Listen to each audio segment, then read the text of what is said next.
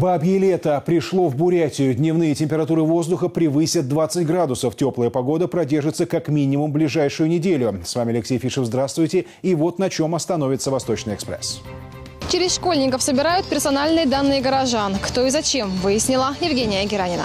Смертельное ДТП на Хоринской трассе. Молодого человека его мопед буквально разнесло на части. А трагедия с места событий и Нина Немаева. Переселение из аварийного жилья. История жительницы поселка Нижнеангарск в материале дежурного по городу. Очередной удар по заводу Улан-Удэ «Стальмост». Банкротом могут признать лично генерального директора. С Анатолия Суслова банк пытается взыскать полтора миллиарда рублей. Имущество уже описали. Мария Красикова узнала, на что директор брал кредит и как происходящее может отразиться на судьбе завода. Долговая история Стальмоста длится уже не первый год. Давно не секрет, что завод должен то рабочим, то партнерам, то банкам. Понятно и то, что проблемы с деньгами из-за нехватки заказов. Крупный кредит теперь пытаются взыскать из директора предприятия. При этом сумма выски исчисляется даже не миллионами, миллиардами. Я, конечно, полтора миллиарда не тратил не шиковал. Когда были набраны кредиты несколько лет назад, ввели правило, директор должен подписать поручительство за эти кредиты, а кредиты уже взяты. То есть поставили перед фактом. Когда мы вот оказались э, не загружены, банк не захотел отсрачивать, э, пытается там, кончать предприятие. И на меня, как на поручителя, с меня лично взять эти полтора миллиарда. Директор завода не скрывает, уже описано все имущество и тут же отшучивается, что с Рокфеллером его не сравнить. Даже в случае реализации всего нажитого денег на погашение кредита не хватит. Поняли это и в банке и подали иск о признании Анатолия Суслова банкротом. Суд окончательного решения пока не вынес, но процесс запущен. Дать обратный ход может лишь полная загрузка предприятия. Надежды возлагают на железную дорогу, от которой ждут заказов на строительство второй ветки БАМа. Переговоры ведутся и то есть там в ближайшее время, то есть несколько переносится, но вот нас все-таки должен посетить э, президент РЖД, и естественно, то есть мы уже заранее, то есть э, провели встречи и в Минпромторге, и на базе Минпромторга с РЖД, и поставили вопросы по поводу закрепления а, заказов на бесконкурсной, бестендерной основе. Правда, даже в случае подписания контракта с РЖД это не даст стопроцентной загрузки. В лучшем случае завод заработает в полсилы. На предприятии по-прежнему ждут заказы на изготовление мостов. Хотя в нынешних условиях выбирать не приходится. Любая работа как надежда на выход выход из затянувшегося на предприятии кризиса и из долговой ямы. Тенденция к улучшению по загрузке, она проявилась, хотя бы даже это радует. Мария Красикова, телекомпания «Аригус». Внезапные требования учителей. Без паспортных данных родителей в школу можете не приходить. При этом документы требуют срочно. Жалобы от горожан поступают в массовом порядке. Кому и зачем понадобились персональные данные перед выборами, разбиралась Евгения Геранина. Наша школа собирает с учащихся данные родителей, требует предоставить паспортные данные, СНИЛС и так далее. При этом оказывают психологическое давление на детей. Говорят, без документов в школу не приходите. Более того, требуют принести их обязательно до выборов. Что происходит? Избирком. Вы нарушаете 24-ю статью Конституции. Подобных анонимных обращений только за эту неделю десятки. Так на самом деле, кто и зачем собирает персональные данные горожан? Первым делом мы адресовали этот вопрос в избирком Бурятии. Избирательная комиссия Республики Бурятии такими делами не занимается. Сведения нам подают все те органы, которые тем или иным образом связаны с гражданами, перемещениями, изменением их положения, осуждением, освобождением и так далее. Все это консолидируется в глав администрации, которые нам подают, и мы эти списки формируем по таким образом через учеников такого у нас нету и не может быть, и не должно, это противоречит законодательству. Но связь с выборами отрицают и в Комитете по образованию. Пояснили, школы собирают персональные данные родителей для новой системы учета учащихся контингент. В нее планируют занести данные каждого ученика. Паспорт и СНИЛ спросят для того, чтобы в дальнейшем системой могли пользоваться не только педагоги, но и родители. Например, устроить ребенка в сад, записать в школу или перевести в другую, а также контролировать успеваемость. Сейчас есть много систем, коммерческих систем, таких как электронный журнал, дневник.ру. А, за предоставление информации родителям они вынуждены платить. Эта система контингента абсолютно бесплатная. Все данные о том, был он в школе, не был он в школе, опоздал он, э, получил он пятерки или двойки, все это будет в этой системе. Дошколят в эту систему добавит автоматически, ЗАГС будет загружать в нее всех новорожденных, а учеников должны занести в программу в течение двух месяцев. После тестовый режим. Запустить контингент планируют с начала Нового года, поэтому родители родители и торопят с документами. Родители спокойно могут принести их после выборов. Конечно, родители, которые не захотят сдать, их никто не заставит э, это их право. Мы, например, просто рады, что такая, наконец, система будет. Она с учителей снимет массу работы лишней. В городских школах сегодня учатся 55 тысяч детей, каждый восьмой – первоклассник. Евгения Геранина, Валерий Чедопов, телекомпания «Аригус». Старт отопительного сезона отложили на 5 дней. Тепло начнут подавать в квартиры только с 25 сентября. Такое решение приняла мэрия. Подготовку к отопительному сезону и другие проблемы города чиновники обсуждали сегодня на планерке. Не обошлось без эмоций. Подробности далее. Теория о глобальном потеплении, по всей видимости, находит наглядное подтверждение в отдельно взятом Улан-Удэ. Еще четыре года назад отопительный сезон в городе начинали 15 сентября. Сторонники же теории заговоров могут предположить, как раз в 2012 году произошли кардинальные перемены в городской власти. Вот и получается, то ли солнце стало теплее, то ли чиновники охладили горожанам. По данным синоптиков, ночные температуры понизятся до 5 градусов уже с 20 сентября. Да и в мэрии рапортуют, готовность к зиме небывалая теплая уже 98%. Так что мешает подать тепло в батареи, как прежде? Внятного ответа пока нет. Зато известно точно, не сладко придется жителям военных городков. Сильно бойко докладывают они там, все хорошо у них. Процент выполнения. Они э, капитальные работы не производят производят текущий ремонт. По сути, это регламентные работы, что они обязаны делать всегда. Непростая ситуация и с электросетями, да уже во всем городе. Только за сутки произошло четыре аварии. Чиновники вновь пеняют на дождь. Энергетики парируют. Дождя финансового не могут дождаться от мэрии. Согласовано еще в 2015 году, значит, по которой должно было 83 миллиона профинансироваться на самые слабые места нашей, нашего комплекса энергетического. Но до сегодняшнего дня финансирование администрации не решено. Мы пока ни копейки туда не получили. Вкладываем только то, что предусмотрено тарифом. Этих денег явно недостаточно. Ну а как же дороги? Вновь будут укладывать асфальт в снег? Нет, рапортуют чиновники. Из 200 дворов отремонтировали 165. На остальные есть еще целых три недели. Правда, не все подрядчики укладываются в срок. Проблема с тротуаром на Боевой и пешеходным переходом на Кабанской. Ну и что, теперь будем за подрядчиком бегать, что ли? А если он до Нового года будет делать, тебя там за нас водить? Вот если ты таким тоном, да, если такой подход будет, ты что завалишь здесь? Понимаешь? Если так будешь ходить там за каждым подрядчиком, снизу вверх на них смотреть. Те, кто сорвал, все в черный список. И как потом, под каким соусом не пытались войти, чтобы не было их нигде. Ни смак и не остальные.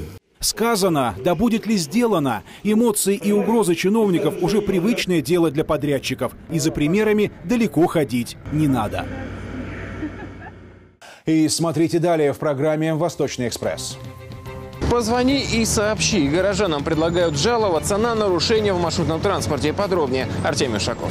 Сотни тысяч спасенных жизней Центру медицины катастроф Бурятии 15 лет. Как обучаются медики и что помогает им в работе. С материальной стороны службу изучила Саржана Мардагеева.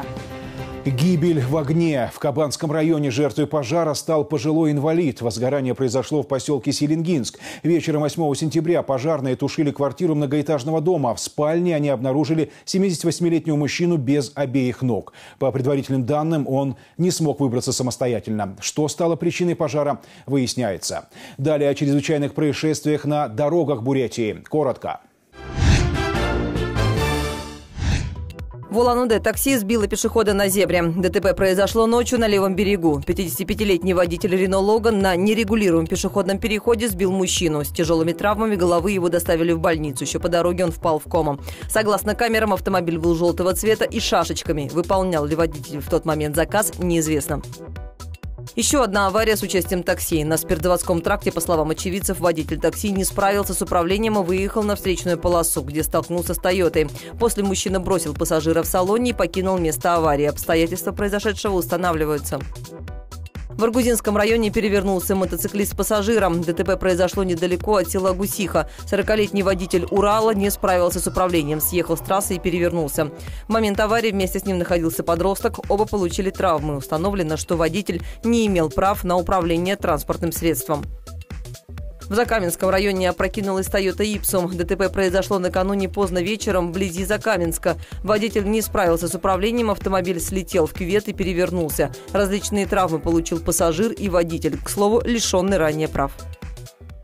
Кто виноват в ДТП на Хоринской трассе? 1 сентября под колесами внедорожника там погиб мотоциклист. С официальной версией причины аварии категорически не согласны родственники погибшего и не уверены в объективности расследования. Детали происшествия и альтернативная версия у Янины Немаевой.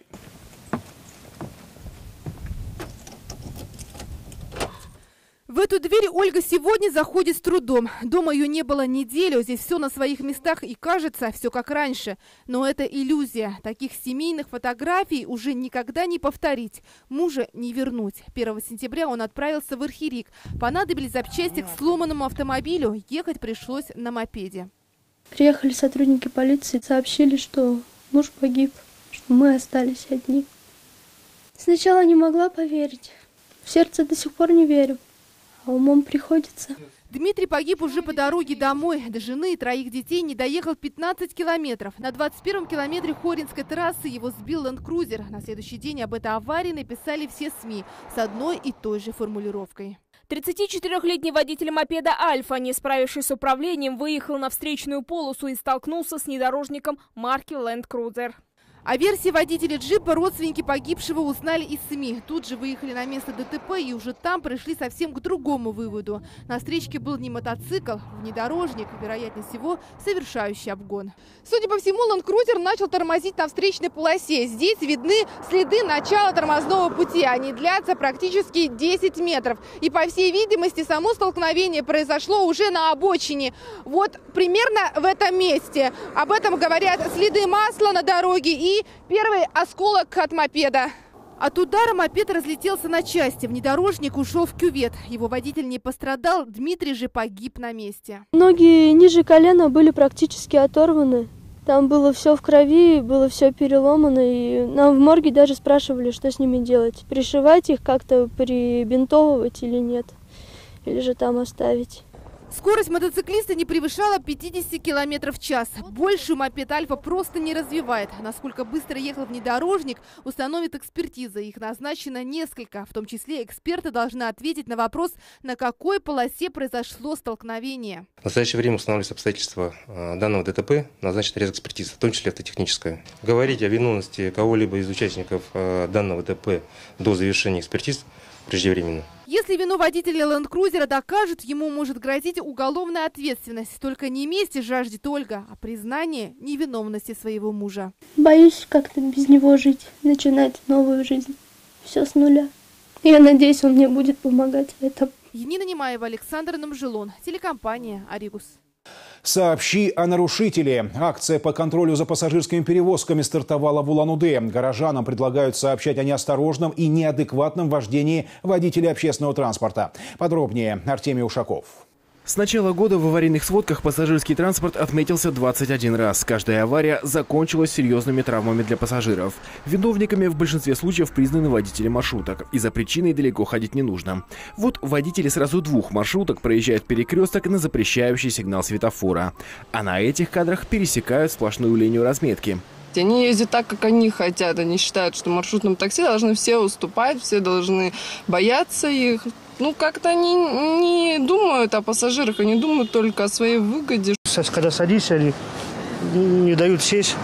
Ну, сразу трогаются, едут. Некуда людей садить. Они все равно двери открывают и сажают людей.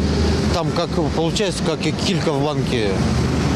Им-то главное деньги, а то, что люди там толкаются, задыхаются, им все равно. Сами водители с критикой не согласны, считают себя жертвами дорожной ситуации и ездить по правилам не то, что не хотят, они могут. Даже взять разметку нашу и наши остановки, это невозможно на самом деле. Просто если даже ты пробовал уехать, не нарушая правила, ты все равно где-то их нарушишь.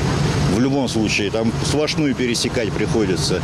Где-то кто-то встал, в карман-то не заехать в центре города. И все же заставить перевозчиков следовать правилам решили в ГИБДД совместно с Общероссийским народным фронтом. По всей России стартовала акция «Сообщи о нарушении». В ближайшее время на каждом автобусе появится наклейка с номером телефона дежурной части, где круглосуточно готовы принимать сигналы о неосторожном вождении и умышленном нарушении правил водителями маршруток. Если увидят, что водитель там, ну, как-то ведет себя неадекватно на проезжей части, что, э, возможно, может э, спасти э, или спасти от дорожно-транспортного происшествия, например, тем, что он позвонит по телефону дежурной части, наряд ДПС уже среагирует и проверит водителя на состояние алкогольного опьянения, как, ну, как например.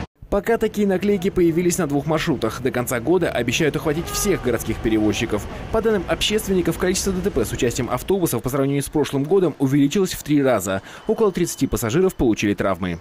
Артемий Ушаков, Борис Бальчинов, Валерий Чедопов, телекомпания «Арикус». Крайне пуганных ворон. Глава Бурятии подверг критике ситуацию с парковками машин в Улан-Удэ. Что еще не нравится в городе Вячеславу Наговицыну? Этим и не только он поделился с молодежью на традиционной встрече со студентами. Продолжит Сергей Соголов. Время жить и работать в Бурятии – это приоритетный проект молодежной политики. Начинающие ученые настаивают на тиражировании опыта программы «Земский доктор» и на другие специальности. Для закрепления кадров предложили и вариант аренды муниципального жилья. Возможно ли у нас в республике строительство вот такого экспериментального дома, а, ну, возможно, за счет средств региона, а, который бы предоставлял жилье по льготной цене вот именно для молодых профессионалов. На сегодня в Бурятии создана нормативная база. И в этом году приступили к строительству первых таких не домов, а квартир. Мы подсчитали у себя, у нас в Бурятии получается стоимость арендной платы 700 рублей, месячные 700 рублей. Это при том, что на рынке получается 12 тысяч рублей. Вот э, точно такая же квартира. Строительство таких домов только в перспективе. Жилищному и градостроительному вопросу уделили особое внимание. Мне не нравится, как застраивается город Улан-Удэ. А, мне не нравится точная застройка, мне не нравится отсутствие общей а, архитектурной концепции развития. Конечно же, прекратить всякое типовое строительство. То есть строительство должно быть индивидуальным, каждый дом должен быть э, своеобразным, своеобразным, но он должен вписываться в ту архитектуру и быть украшением нашего города. Отдельной критике подверглась и безнаказанность некоторых автовладельцев. Они бросают машины в неположенных местах, в том числе на газонах. Говорили о доступной среде для инвалидов, поднимали вопрос развития агробизнеса, в частности, переработки шерсти, и в целом о молодежном предпринимательстве. В этом году на 83 проекта выделили 10 миллионов. Сергей Соголов, Борис Геленов, телекомпания «Аригус». Переселение из аварийного жилья, миллиарды рублей, госпрограмма – все есть, но насколько это доступно? Легко ли получить достойное жилье в Бурятии? На конкретном примере узнавал дежурный по городу. Перебраться из непригодного жилья в достойное – это мечта многих семей в республике. Жительница поселка Нижнеангарск, пенсионерка-инвалид Матрена Романова в их числе. Уже более двух лет она добивается права получить новую квартиру. Дом, где жила, признан аварийным. Я сейчас собрала документы. Потом, говорит, опять документы такие-такие. Опять э, целый год собирала, опять документы меня гоняли. И Северный, Северобайкальский, туда и сюда ездила. Трудность в том, что на тот момент героиня сюжета проживала в Нижнеангарске одна. Инвалиду сложно было передвигаться. Поэтому процесс со сбором документов затянулся. Неожиданно она сломала ногу, дочери перевезли ее в Улан-Удэ. Она была лежачая, не ходила как бы. Мы ухаживали за ней жилье они половину дома разобрали, то есть они не имеют права а, как бы они должны были предоставить ей какую-то комнату там или еще что-то. Это они давали мне общежитие, потом выгнали а, Позвонили Это им, они сказали, но твое жилье мы не тронули, а то, что пол дома разобрано, то, что там как бы свалка, то, что дом растащили полностью, они об этом ничего не говорят. Половину дома, там, который раньше получил субсидию, ну, мы обрезали. Это наша собственность. Кстати, по поводу законности сноса дома прокуратура Северобайкальского района проводит проверку. Как сообщили в Минстрое Бурятии, порядковый номер на расселение пенсионерки Романовой 163. В этом году всего около 60 семей обретут новое жилье. В следующем примерно столько же. В текущем году а, она не сможет поучаствовать в реализации этих мероприятий. А, а говорить о том, 17 или 18 год мы сможем только тогда, когда будем знать лимиты финансирования на указанные года. И еще хотелось бы отметить, так как она наниматель, а ей положено предоставление другого жилого помещения на территории этого же населенного пункта. На сегодня потребность в площадях на переселение по республике составляет более 68 тысяч квадратных метров. На эти цели должно быть потрачено свыше 2,5 миллиардов рублей. На первом этапе до 2014 года Бурятия не справилась со своей задачей и оказалась в черном списке среди 20 регионов России. Тогда причиной неудачи была названа недобросовестность отдельных подрядчиков. Алексей Турубов, Батар Халматов, телекомпания «Аригус». Тысячи спасенных жизней. Центр медицины катастроф Бурятии отмечает 15-летие. Они одни из первых приезжают на ЧП и оказывают первую помощь пострадавшим. Что помогает медикам в их непростой работе, увидела Саржана Мердыгеева. Много должны позвать на помощь. Помогите мне, пожалуйста! Одно из направлений Центра медицины катастроф – учебные. И главные помощники здесь манекены и симуляторы. Практически у всех есть имена. К примеру, это подавившийся Чарли. А у Джонни множественные травмы. Но самая душевная история у Анны. Говорят, у нее есть реальный прототип. В конце 19 века в Париже из Сенны выловили тело молодой девушки. Она из-за несчастной любви бросилась. Поскольку в те годы женщину не удалось опознать, было принято делать посмертные маски. И что и было сделано с этой девушкой. Назвали ее Анна, и вот с тех пор, да, когда Леордал э, решил заняться манекенами, он воспользовался этой посмертной маской. Считается, что это наиболее часто целуемая женщина на сегодня, девушка на сегодня, потому что, да, при проведении искусственной вентиляции легких, ну, люди прикасаются. Но это все лирика. На деле пластмассовые люди помогают спасать живых. У учебного центра около 50 манекенов. Большинство имеют четвертый класс реалистичности. На каждом можно отрабатывать по несколько навыков. Не только перевязки искусственное дыхание, но и интубации, инъекции. Здесь мы принимаем э, больных, производим их сортировку э, на легко пораженных, средней, средней тяжести, тяжелых, ну и так далее. Здесь оказываем первую помощь на, на наличие портативной УЗИ. Это место рабочее можем использовать как э, малую перевязочную. Так выглядит мобильный госпиталь. Разворачивается за 45 минут. Может вместить до 120 пострадавших. Здесь даже есть операционная. Еще как бы ни разу ну, не, не было такого, что мы устанавливали при чрезвычайной ситуации. Но с другими ведомствами взаимодействуем, участвуем во всех учениях. В реальных же ЧП лучшие помощники медиков – автомобили. Реанимации на колесах. Стоимость около 7 миллионов рублей. В них есть дефибрилляторы, ИВЛ, КТГ и все необходимые аппараты и препараты для спасения жизни. Таких машин по Бурятии 4 работают круглосуточно. Селевой поток на Аршане, допустим, да, вот, лекарственное обеспечение сразу же потребовало достаточно большое, да, там, сколько, большое количество людей было эвакуировано, много, э, потом профилактически проводились там прививочные кампании и так далее. Все это за счет того имущества и средств, которые мы имеем. Беженцы, допустим, у нас с Украины были, да, вот в том числе мы занимались э, обеспечением и этой категории э, за счет резерва определенного. По материальной оснащенности Центр медицины катастроф Бурятии сегодня занимает второе место в России. Сашана Мердыгеева, Борис Бальчинов, телекомпания «Аригус». Молокоматы в магазинах и доставка овощей на дом. Фермеры ищут новые формы общения с покупателями и рассчитывают на поддержку государства. Только за два года на эти цели из бюджета выделено более 40 миллионов рублей. Во что вкладывают деньги бизнесмены на селе? Далее.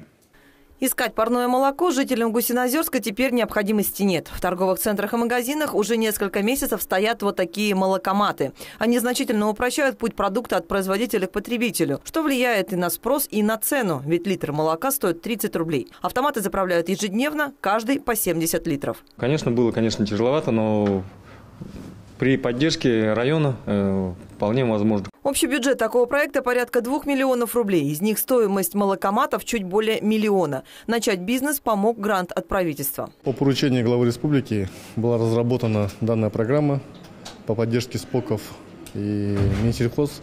Эту программу совместно с нами, с администрацией Селенгинского района мы эту программу реализовываем. В Селенгинском районе сегодня работают 12 сельхозкооперативов. Продукцию они реализуют через единый сбытовой кооператив. Покупателю стоит лишь позвонить в колл-центр и заказать товар. Ответьте, пожалуйста, на несколько вопросов. В каком количестве и куда вам нужно доставить картофель?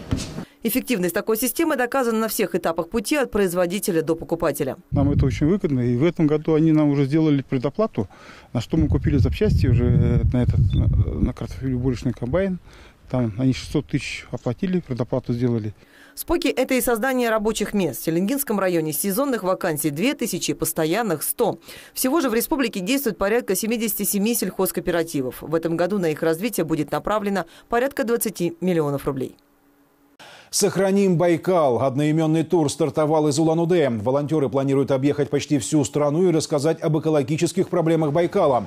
На своем пути экологический десант посетит 52 города. Отчет о путешествии будут выкладывать в соцсетях. Активисты хотят сфотографироваться с нерпой в каждом городе. У нас самый низкий уровень воды за 30 лет сейчас на данный момент. Обмеление связано с, как бы, ну, вы сами понимаете, да, с отходами, которые непосредственно сбрасываются в Байкал. Так как у нас работают не только наши лондонские организации, которые выкидывают эти отходы, а работают все российские. Поэтому как бы у нас тур направлен на более обширное, чтобы знали об этом все. Это исчезновение редких видов животных, это тоже в связи с загрязнением Байкала, в связи с упадком уровня воды ну, например, нерпа. Первый экипаж волонтеров отправился на юг страны, второй через неделю в северном направлении. Финиширует автопробег в городе Сочи и в Крыму. Такова информационная картина минувшего дня. С его событиями вы также можете познакомиться на нашем сайте arigos.tv. Что ж, давайте наслаждаться последними в этом году теплыми днями. Хороших выходных!